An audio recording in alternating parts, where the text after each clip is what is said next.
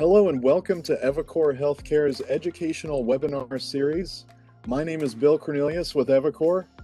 eviCore empowers the improvement of care by connecting patients, providers, and health plans with intelligent, evidence-based solutions to enable better outcomes.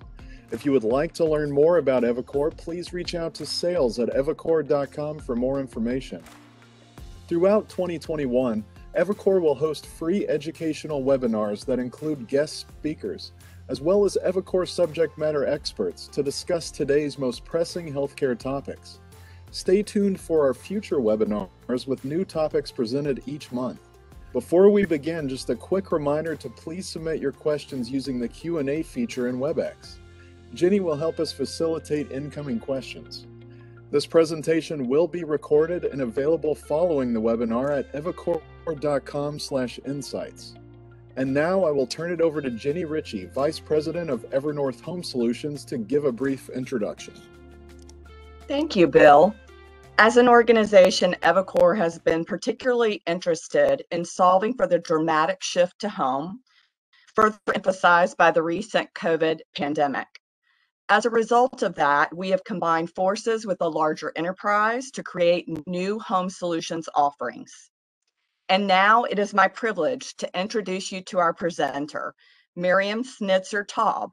Miriam is the Director of Ecosystem Research at the Advisory Board. In her role, she leads research on a variety of topics that impact all sectors of the healthcare industry.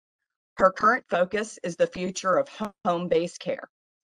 Today, Miriam will take a closer look at the rising popularity of home-based care and what that likely portends for the future of our healthcare system. Miriam, I'll turn it over to you. Great. Thank you, Jenny, and thank you, Bill. Thank you to the entire eviCore team for having me today. Um, I'm, I'm so thrilled to, to be with you all um, to share what we have learned here at Advisory Board um, about home-based care. I will say this is really the beginning um, of our research, you know, really diving deep into this area as we've seen so much interest in it, um, driven not only by the pandemic, but by other forces as well that, that we'll certainly touch on. And so my hope today is to give you a little bit of a glimpse into what we're thinking about as the future of home-based care.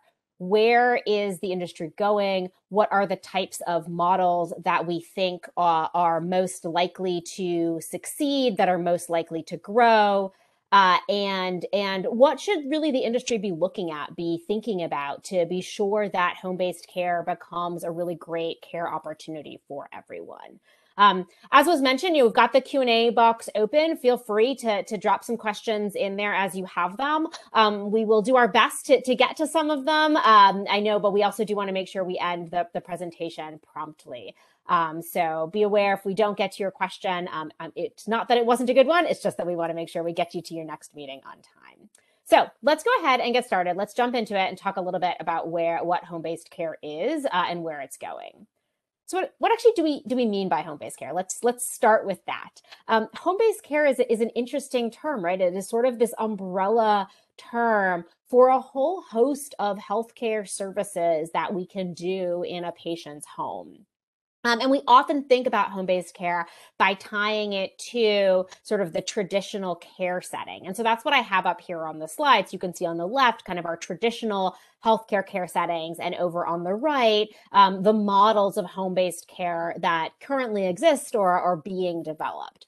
And there's a really big range, right? It starts from, you know, our kind of traditional Medicare certified home health, the post acute care program that has um, been in place for quite some time, um, and and also goes to things like home based primary care and home infusion as, um, you know, ways to replace in-person outpatient care. Uh, we can think about hospital at home, which of course is is a is a model that's gained a lot of uh, notoriety over the last several months, uh, where we're providing acute care in a patient's home through things like personal care, remote visits. So there's a lot that to, uh, to really think about under this home-based care umbrella. And I'm sure you all can probably think of a number of other bullets we could add to this slide as well.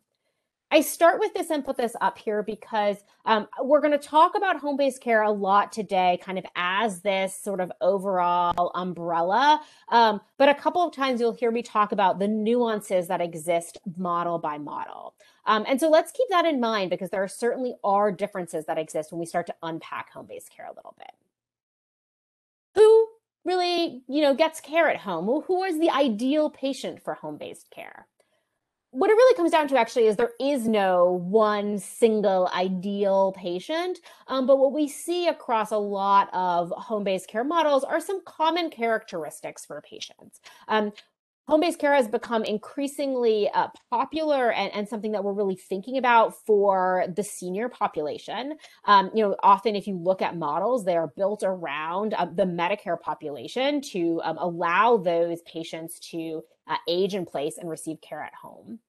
Uh, they often you know these the these models can care for patients with really diverse care needs um, you know ranging from kind of ongoing chronic conditions recovering uh, from a procedure receiving acute care you know there's a so there's a lot of different care needs. Um, and one of the key things that we often see in home-based care is a difficulty for the patient to leave home. Now that can be um, because of their living arrangements it could be transportation issues um, could be any number of things but often um, patients are drawn to home-based care and providers look to home-based care for their patients uh, because they realize that it could be difficult for that patient to get to a facility and thus it's you know potentially uh, easier for them to receive care in their home and you can see at the bottom of the slide here just a handful of the evaluation questions that we hear providers and others thinking about when it comes to home-based care. You know, these are the types of questions that everyone needs to be thinking about to be sure that home-based care is the right choice for the patient. Because certainly what we know is while home-based care can be a really great option, it's not always the option that's best for a particular patient and their and their family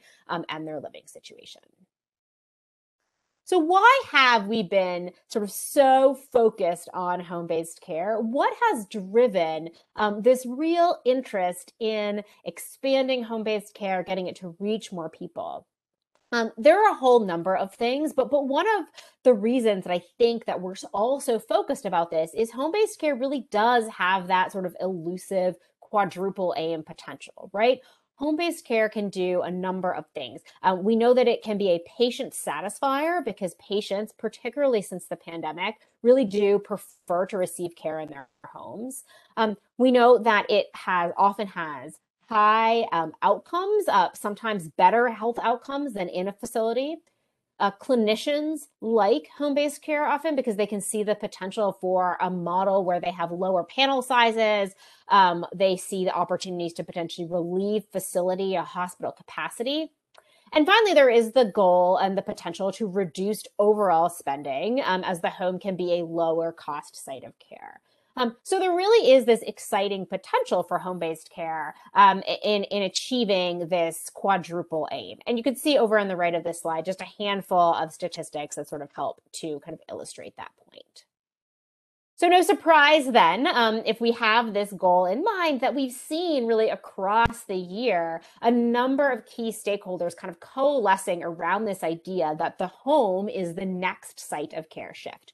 And so we see that from kind of all of the different stakeholders that you see here on the slide, uh, you know, starting with policymakers. Uh, so we'll touch more on the Choose Home Act in a few slides, um, but certainly there has been some legislation around um, kind of expanding services that can be performed in the home. Certainly we saw CMS uh, relax the hospital at home restrictions and really open up that program to many, many more hospitals to participate. We've seen provider organizations respond to that flexibility um, and think about how to grow their programs. So you can see that the example that I'm highlighting here um, is, you know, Kaiser and Mayo investing into Medically Home as an organization, um, really thinking about kind of how, you know, they can be a part of building out some of this home-based care. We've seen health plans get into the game. You know, certainly if you look at what some of the major health plans are doing, they are they are acquiring and investing in parts of the business that will help build up home-based care as part of their assets. Um, and we've also seen some really interesting moves from kind of the big tech, big retail um, angle as well uh, for folks who've been following the news um, sometime last month that, you know, in October, Best Buy announced that they were acquiring Current Health um, as part of their ongoing um, moves to kind of build and uh, build their home-based care platform. Um, and we saw Amazon join the the Moving Health Home Coalition, um, really sort of advocating for um, you know more opportunities to provide care at home. So we really see this kind of across the industry kind of wave of, of organizations really interested in building home-based care and expanding services uh, to patients in their home. What does this all come down to? If you remember nothing else from my presentation today, I hope you keep in mind kind of these three things. These are our three insights into where we see the future of home-based care going, and we'll start to kind of talk through these a little bit more as we move through the presentation. So first, uh, home-based care will demand for home-based care is going to grow um, and in no small part due to the aging population that has higher acuity needs um, we know that the population of seniors in this country is large and is growing. And we also know that there are large parts of that population that have one, maybe multiple chronic diseases. We also know that seniors increasingly want to age in their homes. And all because of that, um, it's going to push the development of programs that help them receive care in their home, as opposed to the sort of default option being going to a facility for care. The second thing I want to point out is that the long term adoption of home based care models is very, very closely tied to the adoption of value based care. Uh, because what we see so often is that many of the home based care models, at least those that currently exist, just aren't feasible long term unless you're under some kind of risk based model. And we don't see them really being compatible with fee for service. And so, what we're likely to see is organizations that are more invested in risk models look more at investing in some of these home based care models. And finally, uh, there's a lot of talk about the importance of stability and reimbursement in home based care. And that is certainly an important aspect. But I would push everyone here today to remember that um, reimbursement is not the cure all, that there are a number of other challenges inherent to providing care in patients' homes that the industry really needs to overcome together if we're going to really realize that quadruple aim and the potential for home based care. So keep these three things in mind as we move through the, the presentation. Um, and, and again, these are kind of where we're really seeing the future going. So if we think about the future, what does it hold? Uh, I think what a lot of uh, the industry is thinking about is that there are kind of two directions for home based care. I think we can all agree that home based care is likely to grow. I think we're past the point of wondering if it happens or not. I think the question is to what extent. So on the left, we've got a limited growth path, right? We've got you know, everyone's sort of working in isolation, jockeying for position. We're probably not going to have a really coordinated approach. And so the end result is going to be care that expands somewhat, probably just to patients that historically have had really good access to care, um, and probably not in a, in a large enough way to really see true transformative change. On the right, we have the alternative, which is this high growth path. Um, to get there, we would need industry stakeholders to really take this deliberate approach, partnering as necessary, really maximizing their own value. Um, and what we would see here is that this coordinated approach is going to help us overcome some of the key challenges around home based care. And as a result, we will get home based care to a larger patient population, greater numbers, and more likely have sort of a true sustainable impact on healthcare. So we probably all want to get to the, the vision on the right, I'm assuming, um, this idea of high growth, of coordinated care, um, of really, you know, getting home-based care into the homes of those patients um, who need and want it. So how do we get there? Well, our minds are first going to go to reimbursement, right? You know, I think there has been a lot of discussion about um, the fact that, um, you know, reimbursement in home-based care at the moment is very piecemeal. There are certainly some programs that have reimbursement structures set up. There are some that have, um, you know, some some sort of temporary temporary structures, and there are others that we're still really figuring it out. And historically, we've often reimbursed or funded home-based care through pilot programs, right? There have been a number of different pilots to test out these models, and those are great. The problem is those pilots end, and then there's no real path to moving them forward. potentially grants, maybe some startups. You know, all of this has contributed to a really piecemeal approach to home based care. What we would need if we really want to think about a sustained rise and growth, then, is really investment in the infrastructure that's needed. We really need to think about what is the reimbursement and the coverage model that fits across the different types of services being offered in the home. And what we also need is for providers who offer home-based care services, whether they are health systems, uh, you know, physician groups, or others, to think about um, how where does home-based care fit within their organization to not have it be an afterthought over to the side, but to really have it be incorporated within their larger strategy.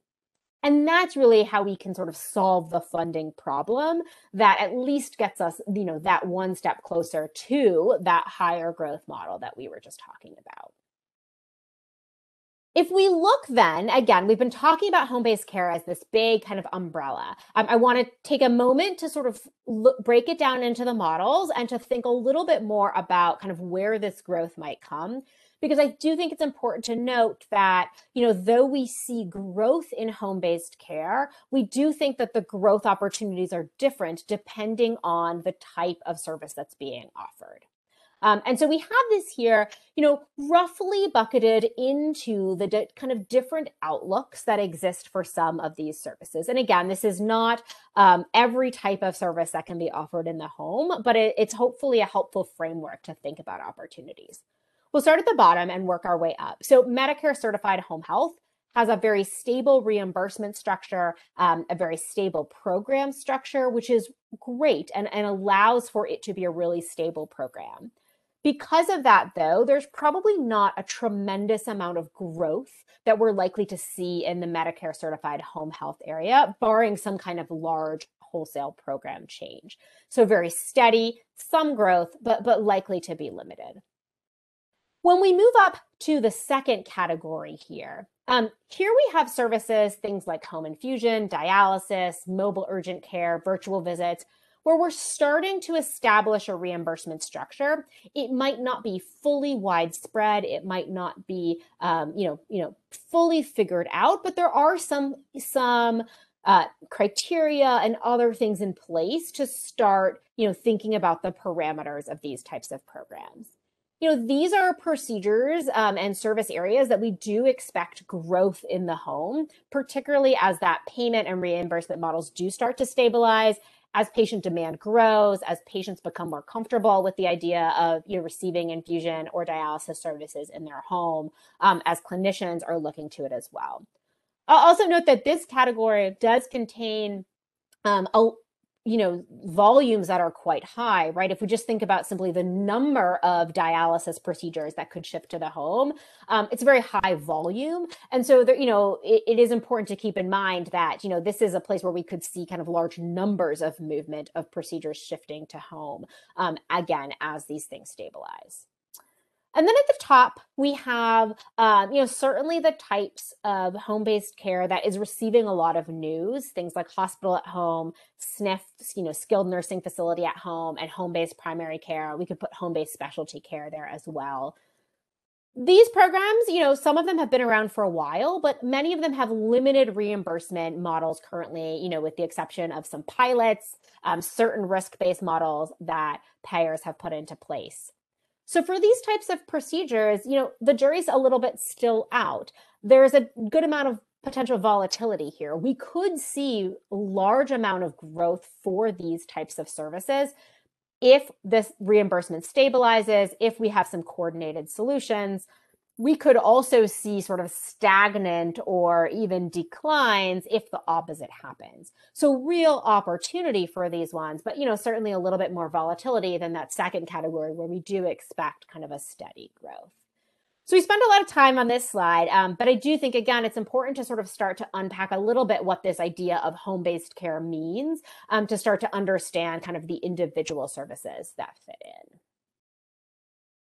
Now, people often ask, kind of, you know, are there going to be sort of large uh, funding boosts for home based care, kind of legislative changes um, that might impact the reimbursement landscape? Couple of things that we've been tracking. Um, one is, you know, the potential for additional funding uh, to be sort of poured into home-based care. Uh, back in April, President Biden proposed a $400 billion investment in what's called home and community-based care. Um, as um, the congressional Democrats have been, you know, thinking through what ends up in their domestic spending package, that number has been changing a lot. Is likely to end up quite a bit smaller than 400 billion. Um, but certainly we're still watching to see what ends up in that final package. So there may be some amount of funding that comes there. We're also looking at, you know, is are there legislative solutions that expand service offerings? Um, so uh, over the summer in July, the uh, there was legislation introduced called the Choose Home Care Act, um, which would create an add-on payment for home health to care for patients that right now are only eligible for nursing home level care this is really what would help operationalize this idea of SNF at home um, by kind of providing that payment structure there. So some opportunities that are certainly there.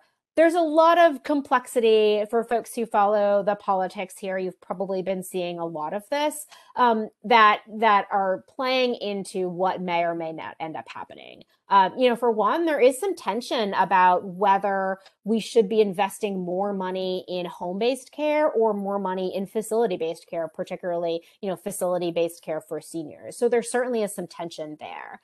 Um, there's a lot of priorities that congressional Democrats are thinking about um, and wrestling with about what should be included in spending bills. And there are also a lot of things that fall under home and community based care. So time will tell a little bit in terms of you know what might end up you know this year and beyond but there are conversations happening you know at the the federal level about how to expand some of these services so overall, I would say, as I mentioned, we're past the point where, you know, we can say that home-based care, we're not sure if it's going to grow. We do think home-based care is going to grow, but I would argue that the pace of change is likely to be slower than some of the headlines have suggested you know, without this sort of large scale financial, regulatory, legislative change, what we're likely to see is a more gradual shift of care to the home um, as all of the pieces fall into place. So let's imagine a world uh, where we've solved this funding challenge, right? We've figured out this stable reimbursement.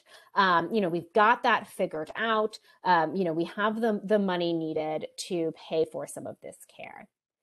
I would argue that that doesn't solve all of the challenges uh, because I think what the industry needs to do is start to wrestle with well, how do we solve some of these challenges that are here on this slide. Um, there are some real important uh, elements to providing care at home that I think honestly are sometimes overlooked when we talk about the promise of home based care.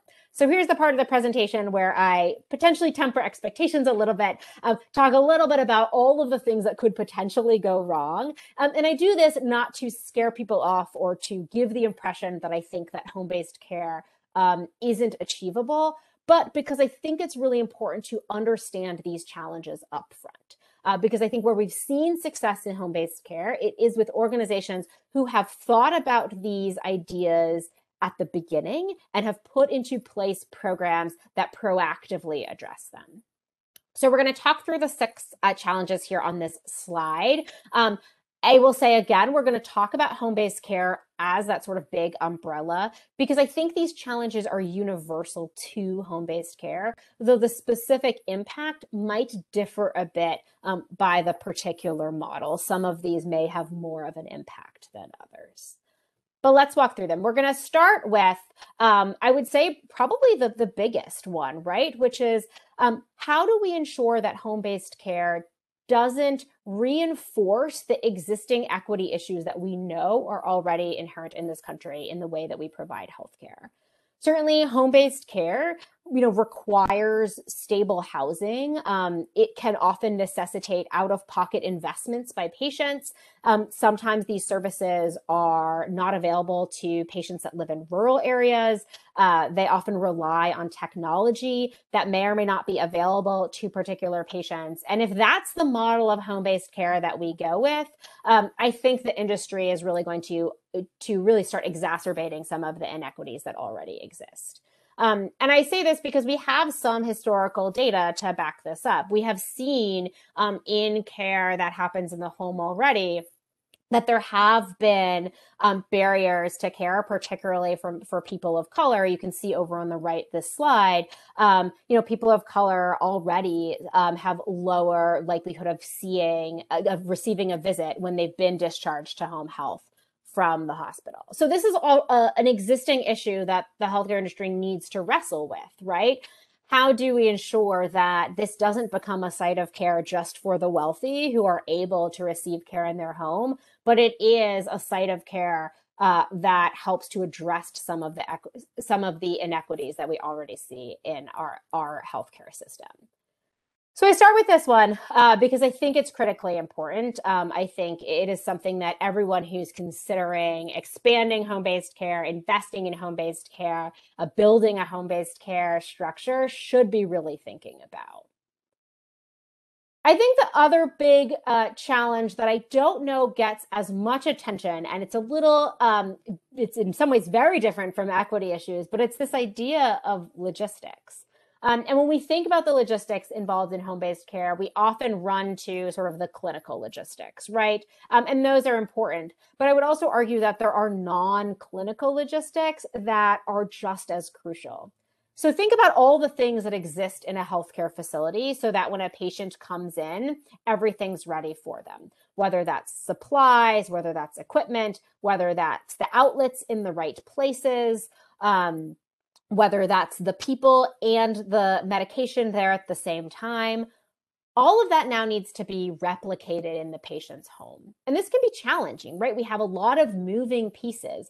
How do you ensure that um, you know all vendors are are in alignment to get the equipment to the patient's home um, before a clinician arrives to deliver some part of care um, how do you ensure that the home has sufficient space um, so that when that equipment is delivered, the outlet is where it needs to be? Um, that there is the um, internet or self service available, that patients have the food that they need. There are a lot of these logistics that start to come into place. And certainly when I've talked to organizations that have you know said they want to put into place let's say a hospital at home program one of the things they've called out is you know a challenge is that their uh, DME vendor maybe only runs from 9 a.m. to 6 p.m. So if they want to um, admit a patient to their hospital at home program after 6 p.m., they need to figure out how are they going to get the equipment to that patient's home before the next day.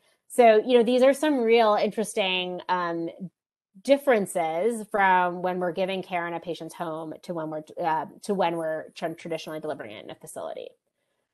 I think the other thing to note here, as you see on the right, uh, is that you know patients want to receive care at home. Um, and they're willing to make some changes to their home, but they're not willing to make really drastic changes to facilitate home based care. So, this is the result of a consumer survey that we did earlier this year. And you can see um, that you know more than a third of the folks who responded said that you know they're not willing to move into a new home to allow them to age in place. You know they're not willing to move into a family member's home or move closer to family. Um, they don't want to have to ha- ask someone to live to move in with them to help with care um, and so these are important things to keep in mind because I think the industry can't just assume that patients can kind of take care of this in order to facilitate home based care. The next challenge I want to touch on um, is one that you know certainly exists outside of home-based care, but I think when we look at the way in which the home-based care space is really growing with new uh, folks entering all the time, I think it becomes really critical, and that's the idea of care coordination.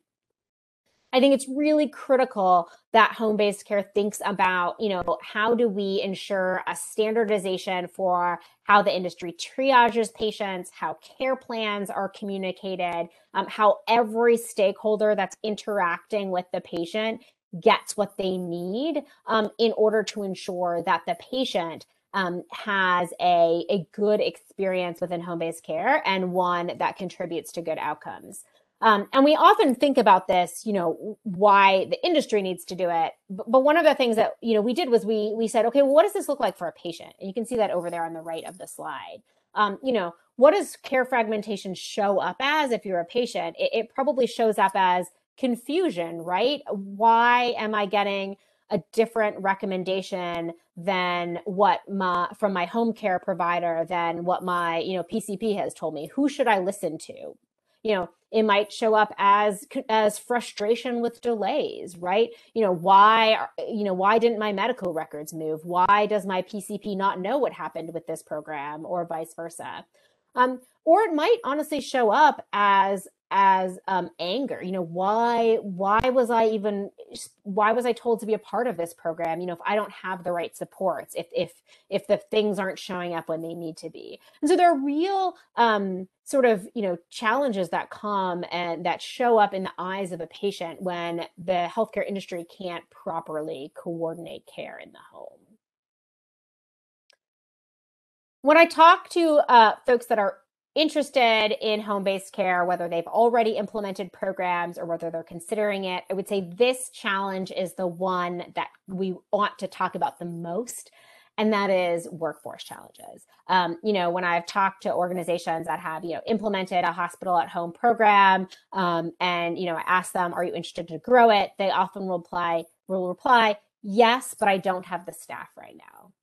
There are you know huge challenges with workforce shortages that exist both in facility based care and in home based care. You know this is really an industry wide challenge.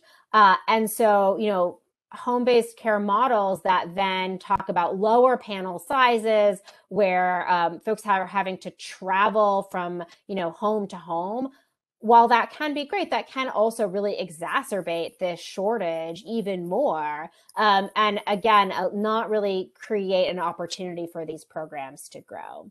Uh, I think if we think about, um, you know, the, you know, the the sort of staff that often are going into a patient's home, this is a population that historically has had very high turnover, uh, that can um, often receive high, higher hourly salaries, better benefits, potentially a better working environment in non-healthcare positions. Um, this is a, a, workforce that, particularly coming out of the pandemic, um, has a lot of burnout, has low engagement, potentially is fearful of their safety. Uh, and so there are some really ongoing reasons about why this workforce shortage is happening. Um, and I also think, you know, there's a there's a, a point that we can look at some of the demographic changes um, that are happening in this country that are creating some of these supply shortages, especially if we're thinking about kind of experienced RNs. Uh, folks have been following the news about sort of the wave of resignations um, within healthcare. I think we can say, you know, this is potentially going to get worse before it gets better. So what I'm really looking for, um, and I'm always interested in, is how does the industry come together to overcome this workforce shortage. There's a role for technology. We'll talk about that more in a few minutes. Uh, but I think there's also a, a role for organizations to think about how do they retain and engage the staff that they have? What are some potential creative ways to partner to grow the workforce? Uh, because I do think it's this this workforce component that's going to be so critical to growing home-based care. We've talked about the workforce, and on the previous slide, I think you know we were talking about kind of the workforce at large, but but largely um, focused on nurses, home care providers. Um, physicians are an important part of this puzzle as well. Um, they're an important piece of the care team, of course. And anytime you're introducing a new model, um, we're introducing challenges for physicians. And I think that's important to recognize, right? Home based care often is asking physicians to change the very well established care models that they have. Sometimes it's asking them to include a third party care provider um, that's you know supposed to work alongside in tandem with them to provide care in the home. And that can lead to really valid concerns from physicians about the quality of care that their patients are going to receive, about continuity of care. Um, I will note that if it's successful, home based care can be a truly physician satisfier. You know, I've talked to a number of physicians who will say that they think home based care is the best thing that's happened to their career as a physician. Um, I've also talked to those that are very skeptical um, and have a lot of the questions that you see on the right of the slide, wondering, um, you know, how are they going to be updated? You know, who's going to be taking care of the patient? Um, who decides whether this patient's well suited at home? How will I, as the physician who's known this patient, how do I know that this patient's going to be well cared for? Um, and who's going to loop me in if something is going wrong? Uh, and so I think you know, I think there's this real importance of engaging physicians throughout this process of thinking about where it makes sense uh, for physicians to uh, be engaged directly with patients, how they can coordinate with others who are providing care in the home to ensure that what we see with home-based care is that physician satisfier and not another yet another source of frustration for physicians. And the final piece of the puzzle, and again, I finish with this one that I think is not talked about as much as it probably should be, and that is caring for the caregivers. I would say nearly every type of home based care program places some kind of burden on patients' personal caregiver, caregivers, whether that's family, close friends, you know, folks that they're hiring, uh, and so it's really important to think about how do how does the industry support these individuals? Because often it's the presence of these personal caregivers it's the work that they are doing that is so critical to patient success in the home. Um, we know that the the generation of of uh, that is sort of both often taking care of children and taking care of elderly family members. We sometimes call this the sandwich generation. We know that this is growing. Um, we know that for many of these people, they have been asked and often have made personal sacrifices due to the financial costs of caregiving, whether that is leaving employment, whether that is you know changing their financial situation. Um, and this can lead to caregiver burnout. Um, and if uh, we don't have well supported caregivers, it's very hard to have home based care that's going to be successful for patients. Um, because again, we're sort of uh, we're asking these caregivers to take on some of the role. And so I think, you know, organizations that are, are thinking about how do I ensure that the caregiver is well supported, that they have the information that they need that they know who to call if something's going wrong, um, that you know they have resources, that they're they're sort of connected to all the right resources. I think it's really critically important to start engaging personal caregivers more as we think about moving more and more care to the home. So we talked through this challenge, through all of these challenges. Um, one of the questions that, that I'm often asked is, you know, what about technology? Can't technology solve these challenges? We have so much technology available to us, so much that we can do in our homes. Um, you know, isn't this the answer? And I think it is maybe. I think there are absolutely amazing opportunities for technology to aid in home based care. And you can see that list over on the left. I think you know we can use technology to identify patients uh, who are likely to be successful at home. You can use these predictive analytics to to identify who might be at risk of deteriorating. You know, certainly all of the telehealth technology that we've uh, developed. Uh, you know, we can reduce the need for in-person visits. Can monitor patients, whether that's through wearables, whether that's through um, you know technology that will automatically communicate readings to providers. You know we might have bio stickers sometime soon. You know we can certainly use technology to do a whole host of things but technology is not alone a savior. It can also lead to additional challenges some of which i've listed over on the right um, I think important to note that all of the algorithms are great, uh, but if we don't evaluate those algorithms for bias, what we might find out is algorithms hurt more than they help. Um, also important to remember the digital inequities that exist in our country today that really limit the utilization of technology by patients in their home. Um, if you start adding lots of different devices to a patient's home, what you might end up with is a lot of different information that might not be integrated in the EHR, um, and that's going to lead to more care fragmentation. Mean, also, I think it's important to note that all of these technologies require a lot of training. Um, you need to make sure providers are trained, caregivers are trained, uh, patients are trained, that there is the idea of what they do if it doesn't work. Um, so I think technology has this real promise. Um, and I'm so intrigued and excited every time I read about some sort of new type of technology that is enabling more care in the home. Um, but what I'm also really always looking for is how are we evaluating it? Um, how is it interacting with other technology? How is it being easy to use um, so that we avoid that list over on the right? Solving all of these challenges, then, as you might have guessed, is not something that any entity within healthcare can do alone. I truly think that to solve that wheel of challenges that I showed a few slides ago requires a multi stakeholder approach where we have home based care providers, health plans, supplier partners, each coming together, kind of contributing the piece of the puzzle that they do best and working together to create home based care um, that uh, gets gets over some of those challenges and so we can truly grow it and scale it and get it to all of the patients that it's needed and what that often comes down to is thinking about success built around patients. Um, as we've been doing this research over the last several months, we've asked every single person who we've spoken to, how do you define success in home based care? We've gotten a lot of different answers, a really fascinating long list. Um, some people will point to specific metrics saying, you know, we define success in home based care by lower readmission rates um, or we look to see, you know, um, number of um, nights that a patient is able to spend at home versus in a healthcare facility. Other people will talk about, you know, engagement and satisfaction by patients and their families. Some people look at financial metrics um, you know, some people will look at, you know, of their total patient population, you know, how many of those patients could move to the home. There's lots of different ways to measure success.